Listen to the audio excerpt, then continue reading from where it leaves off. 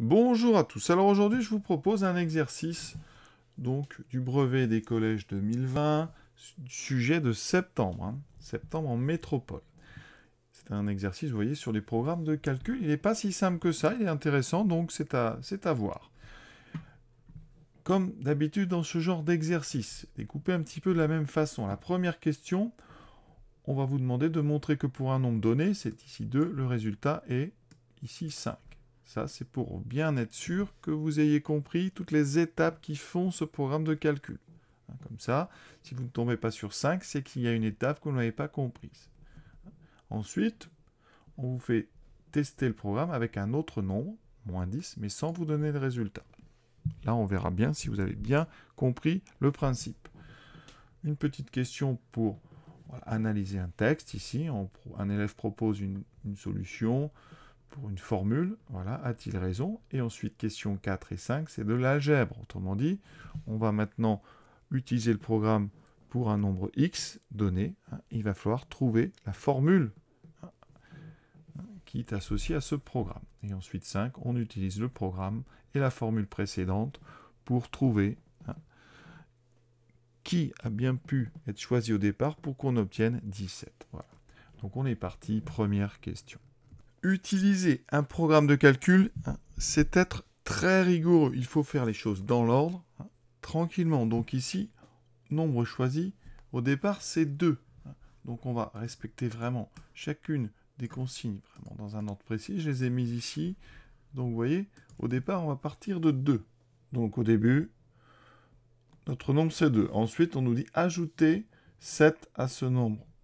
Donc on fait 2 plus 7, ce qui fait 9.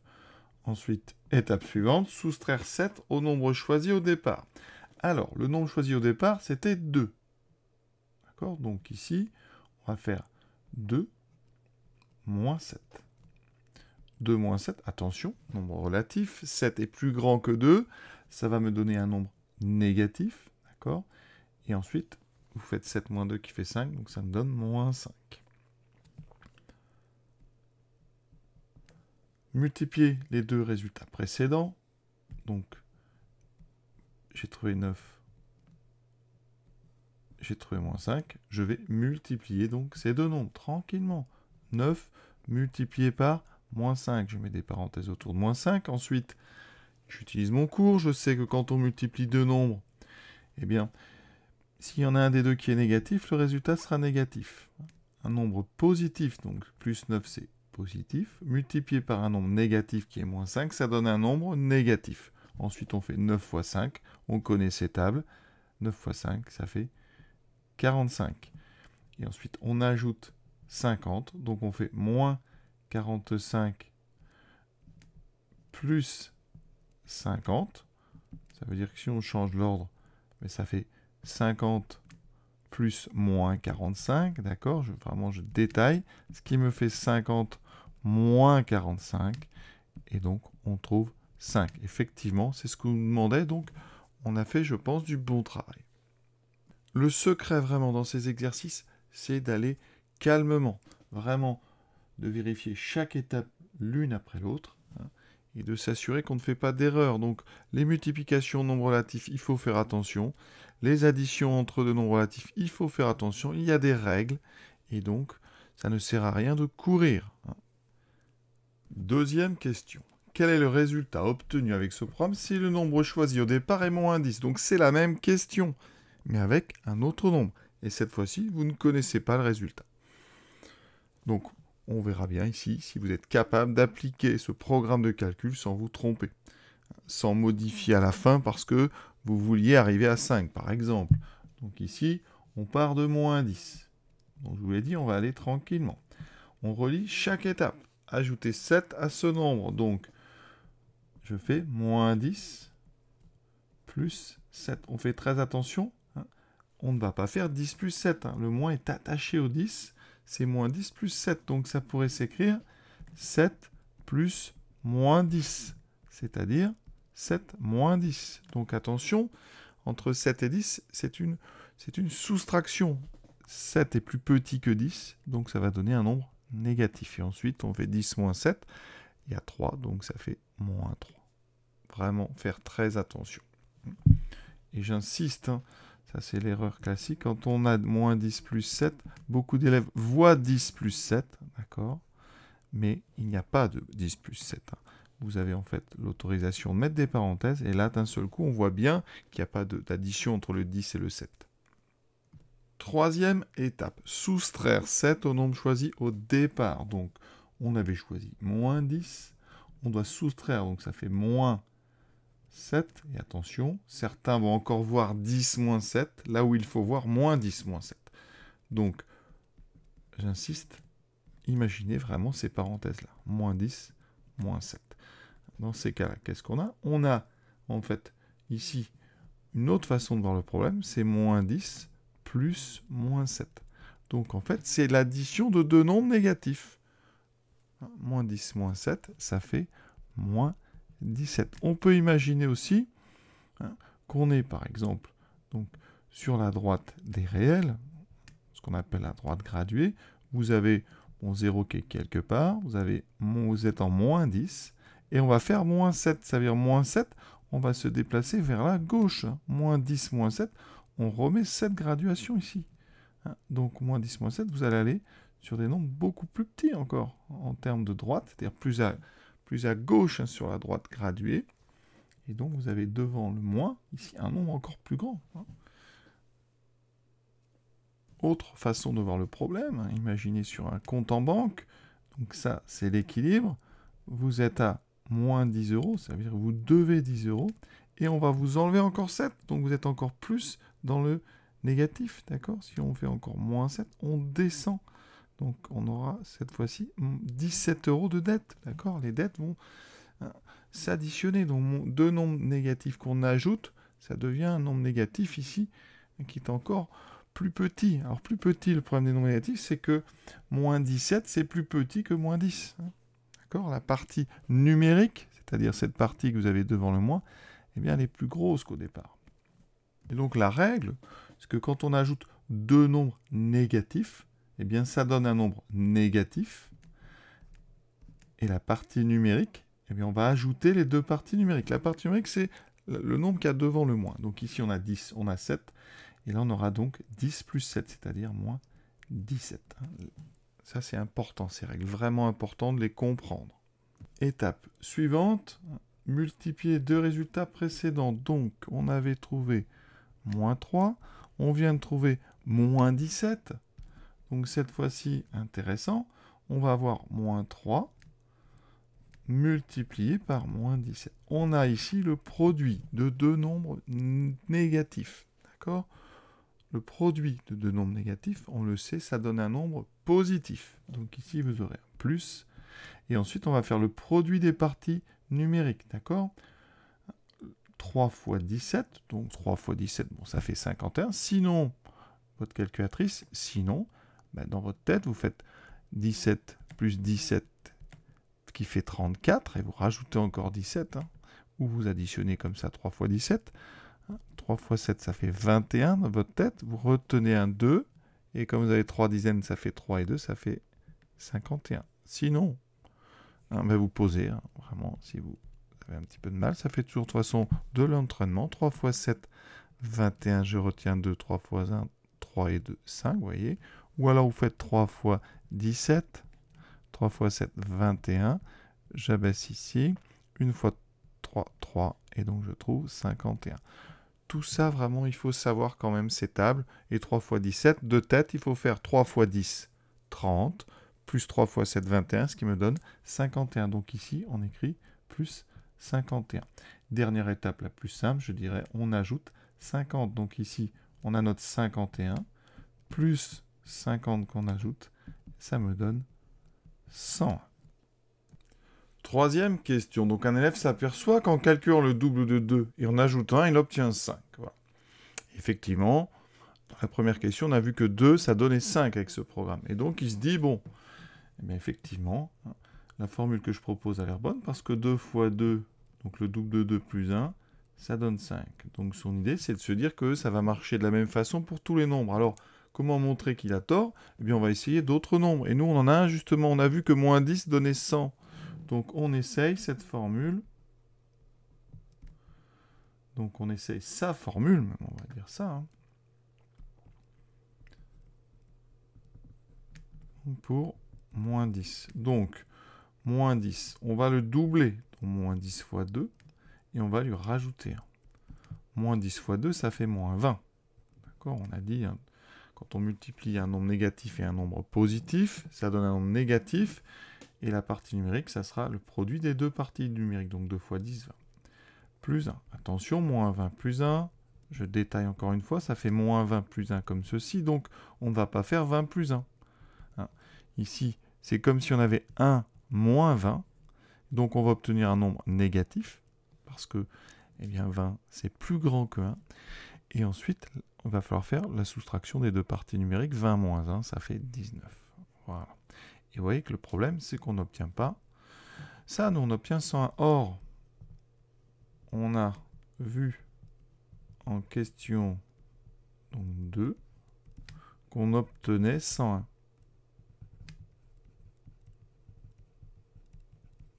Donc, sa proposition, sa formule est fausse. Il a donc il a tort, donc pour moins 10.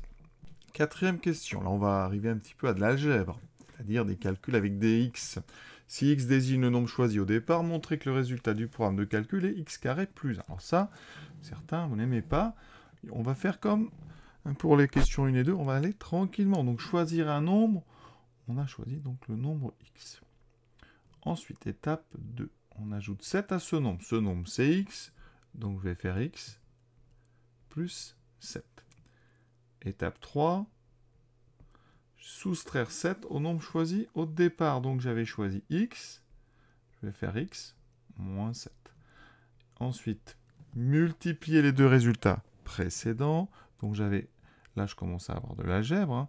x plus 7, ça c'est le résultat donc, du deuxième, fois celui d'avant x moins 7. D'accord On ne touche pas à ça pour Et on ajoute 50. Donc j'obtiens x plus 7 fois x moins 7 plus 50. Alors je vais l'écrire ici en plus gros. Donc x plus 7 multiplié par x moins 7 plus 50. Et on veut montrer que c'est égal ça à x carré plus 1. Alors qu'est-ce qu'on peut proposer Eh bien déjà, on va enlever les parenthèses. Pour enlever les parenthèses, c'est ce qu'on appelle du développement. Et ici, comme on a ici une somme, une soustraction, ça va être de la double distribution. Donc on va prendre notre x, on va le distribuer à x et à moins 7. D'accord C'est la première étape. Ensuite, on prendra notre plus 7 et on le distribuera à x et à moins 7. Et on fera plus 50. Donc ça me donne tranquillement x fois x. Alors je vais y aller doucement. x fois x. Ensuite, x fois moins 7. Donc ici, J'écris tout pour l'instant. Certains, bien sûr, vont plus vite, mais ça fait donc ça. Plus 7 fois x. Plus 7 fois moins 7. Et ensuite, plus 50. x fois x. Vous devez savoir que x fois x, on peut le noter x carré. Ce carré signifie justement le produit de x par lui-même, donc x fois x. Ensuite, on a x fois moins 7 produit de nombres relatifs, hein, on a un moins ici, on va pouvoir le mettre devant. Moins 7 fois le nombre x. D'accord Quand on a comme ça une lettre, on la met en dernière dans le produit. 7 fois x, on va l'écrire 7x. D'accord? Quand on a une lettre et un nombre, on n'est plus obligé de mettre le symbole de multiplication. Si on avait eu 7 fois 5, on n'a pas le choix, on est obligé de le laisser. Ou de calculer. Là, 7 fois x, on peut écrire une multiplication qu'on appelle implicite. On n'est pas, obligé de mettre entre les deux un symbole de multiplication. Et ensuite, on a un produit de nombres relatifs. Donc, on sait que plus 7 fois moins 7, ça va donner un nombre négatif. Donc, on va garder ce moins. Et ensuite, on fait le produit 7 fois 7, le produit des parties donc numériques. 7 fois 7, il faut savoir que ça fait 49. Ensuite, plus 50. On avance, vous voyez, doucement mais sûrement. Il nous reste une dernière étape, donc x carré. Ensuite, on a moins 7x plus 7x. Donc ça, c'est deux termes opposés. Des termes opposés qu'on ajoute, ça s'annule. Donc ici, ces deux termes, on peut les annuler, comme ceci. On dit Moins 49 plus 50, alors on va remettre un peu d'ordre, ça fait plus 50, moins 49. Vous voyez, tout de suite, on a une vision plus claire des choses. 50 moins 49, c'est une soustraction simple. On a un 50 qui est plus grand que 49. Donc, ça donnera un résultat positif. 50 moins 49, ça fait 1. Donc, on a bien x carré plus 1. Et c'est exactement, ce qu'on vous demandait de démontrer. Donc, bilan, ce programme va nous donner x carré plus 1 quand on choisit x au départ. Vérifions la question 1. On avait dit, on part de x égale à 2. Donc, notre formule x carré plus 1, elle donne combien? x carré plus 1, ça donne donc 2 au carré plus 1, 2 au carré, ça fait 4. Plus 1, ça fait bien 5. Vous voyez, on retrouve le 5. La question 2, on avait x égale moins 10, donc x carré plus 1. Si je remplace x par moins 10, ça me fait moins 10 au carré plus 1. Alors moins 10 au carré, on fait très attention, ça signifie moins 10 fois moins 10. Donc produit de deux nombres, ici négatif, on sait que ça donnera un nombre positif. Et ce nombre, ça sera le produit des deux parties numériques. 10 fois 10, c'est donc 100. C'est 10 au carré. Hein. Donc ça fait 100. Plus 1, ça fait bien 101. Vous voyez, notre formule se vérifie. Dernière question. Quel nombre pluriel, il y en a peut-être plusieurs, il n'y en a peut-être qu'un, doit-on choisir au départ du programme de calcul pour obtenir 17 comme résultat? Donc ici, hein, on sait que x donne avec ce programme de calcul x carré plus 1. Nous, ici, on veut obtenir 17. Donc le 17, il est à l'arrivée. D'accord? Et la question, c'est ici, qui a bien pu donner 17 par ce programme? Donc, eh bien, il faut résoudre une équation. Il faut chercher quand est-ce que x carré plus 1 est égal à 17. On a devant nous une équation. Une équation qui n'est pas si simple à résoudre parce que c'est une, équation du second degré. On a un carré. Donc la méthode la plus simple en collège pour résoudre ça, c'est d'abord de se débarrasser à gauche du plus 1. Comment est-ce qu'on se débarrasse d'un plus 1 À gauche, eh bien, on a le droit, ici, d'enlever des deux côtés un même nombre. Donc qu'est-ce que je vais faire? Eh bien, je vais soustraire, je vais enlever un des deux côtés. À gauche, il va me rester x carré plus 1 moins 1 qui vaut 0. Il me reste x carré est égal à 17 moins 1, 17 moins 1 qui vaut 16. Donc vous cherchez des nombres dont le carré vaut 16. Alors attention, on a tous envie de répondre tout de suite x égale 4, mais en répondant x égale 4, vous oubliez quelqu'un. Et oui, il existe un autre nombre dont le carré vaut 16, que beaucoup d'élèves oublient tout le temps. Vous pouvez très bien avoir un nombre qui a la même partie numérique que 4, mais avec un moins. Parce que moins 4, quand on va mettre moins 4 au carré. On l'a vu tout à l'heure avec moins 10. Ça fait moins 4 fois moins 4. Et deux nombres négatifs qui se multiplient, ça fait un nombre positif. Ça fera plus. Et le produit 4 fois 4 qui donne 16. Donc vous voyez que moins 4 au carré, ça fait aussi 16. Donc on a deux solutions à notre problème. Donc réponse, c'est 4 et moins 4. Ou moins 4 et 4. Regardez, vérifions avec le programme initial. Choisir un nombre. Si je choisis 4, j'ajoute 7. 4 et 7, ça fait 11. Ensuite, j'enlève 7 au nombre de départ. 4 moins 7. 7 est plus grand, donc ça fera un nombre négatif, ça fera moins 3. Je multiplie les deux nombres ici. Je fais donc 11 fois moins 3, qui me donne moins 33. Et j'ajoute donc 50, je fais moins 33 plus 50, qui me donne 50 moins 33. C'est important, et donc ça fait bien 17, vous voyez.